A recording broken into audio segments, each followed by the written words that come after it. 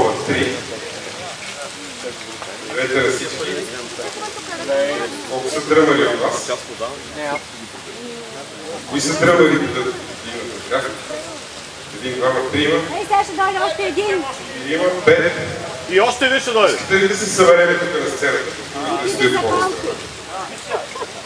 Мисля, че ще ни е по-удобно да си. Кои сега още някой може да дойде тук?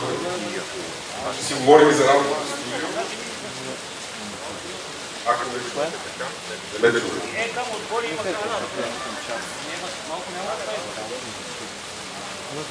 Идват доста някакви хора.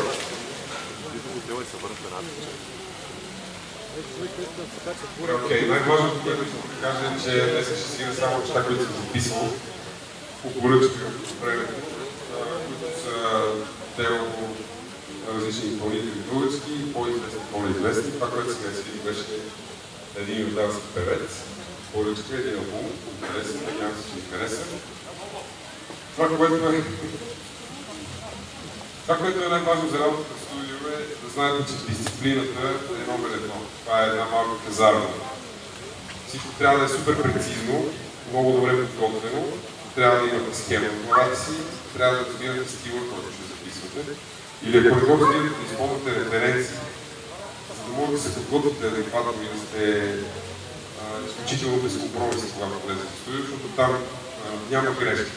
Значи, това, което правите в студио, то остава за винаги, остава след вас, харесва се на хората, печелите пари от това.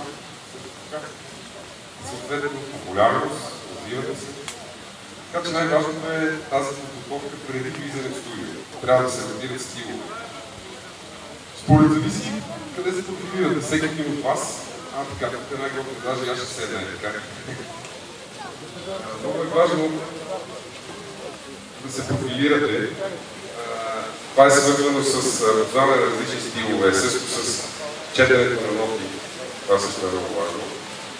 Не бива да пропускате момента с това да се научите как да делите правилно, да разбирате родния материал и най-вече да се подготвите с стимове, защото няма прошка.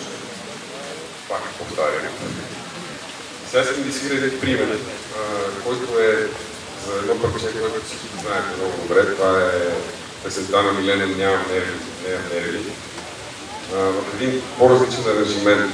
Дойде една задача през време при мен да направим нов аранжимент на тази песен. Съответно, ние трябваше да джазираме това парче. И нещо, което е супер популярно, се промени в тотално различни види, да стане различно нещо. Първо ще ви покажа един пример, който е с а, една конкретна бас линия. Тоест, дойде една бас линия, върху която трябваше да работите. Сега ще ви пусна да чуете. Първо самата бас линия. Но това е песента нерви. Отделението го има малко кръвче. Съвсем различно темпо, съвсем различна стилистика, е много голямо предизвикателство.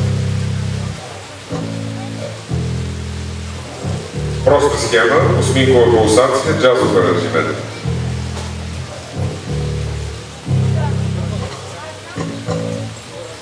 Като сега ще свира това, което решихме ние като аранжимент, това, което барабаните свирят, което е много събрано и много различно.